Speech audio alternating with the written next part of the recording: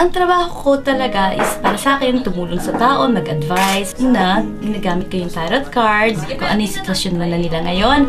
Paano nila mapagbubuti ang buhay nila hindi gumagamit din ako doon ng baraha. Makikita mo doon yung past, present, future. Analyzation ng buhay nila para makakaalis siya doon sa catastrophe ng buhay niya na dinadanas niya sa ngayon. Present mo ngayon and then yung future mo lahat yun, syempre including na sa love and money and then sa career, business. So, kung saan ka magaling, kung saan tayo talaga maganda and then kung saan tayo mag-grow.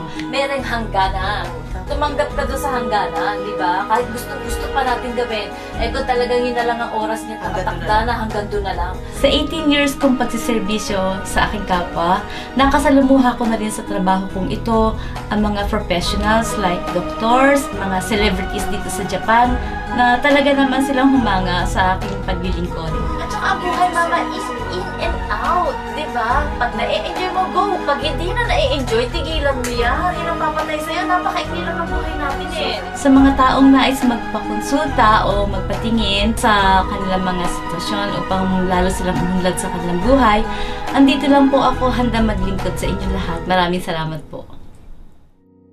For more information, please contact Madam Iris at telephone number 03-6674-2219, cellphone number 090-8777-4495.